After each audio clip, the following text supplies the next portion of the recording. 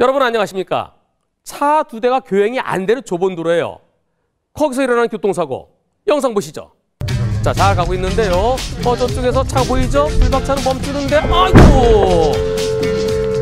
일반적으로 보험사는 중앙선이 없는 도로에서는 마주오는 차를 붙였을 때 50대 50에서 시작한다. 다만 불박차가 먼저 멈췄기 때문에 이번 사고는 상대차, 맞은편에 놓은 차의 감시 좀더 크다. 그럼 70대 30까지는 해주겠다. 더 이상은 안 된다라고 얘기하는 것이 일반적인 보험사의 태도입니다. 여러분들은 어떻게 생각하시나요?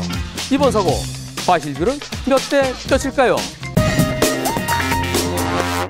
차 두 대가 교행할 수 없는 좁은 길이에요. 불박차 빠르지 않습니다. 천천히 가고 있습니다. 가다가 어 차를 발견하고요. 불박차 여기서 바로 멈춥니다. 근데 상대차 아이고 불박차는 상대차를 발견하고서 한 3m, 3, 4m 가다 멈췄어요. 상대차 운전자가요. 부딪히기 직전 핸들을 들게 나오는데요.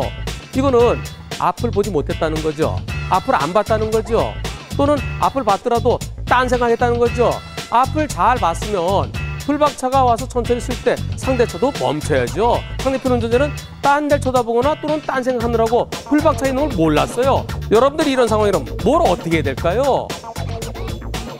도망갈 데가 없어요. 오른쪽으로 더 이상 비켜줄 데 없고요. 그래도 상대편 차가 오니까 어 저 차가 멈추지 않으면 내가 빨리 뒤로 도망가야지. 후진해서 뒤로 뒤로 뒤로 도망가나요? 그것도 안 되죠. 풀박차는 멈추는 거 말고는 할 수 있는 게 아무것도 없습니다. 이번 사고는 내가 빵 하고 경적으로 울려줄 상황도 아닙니다. 이번 사고 100대 0으로 보입니다.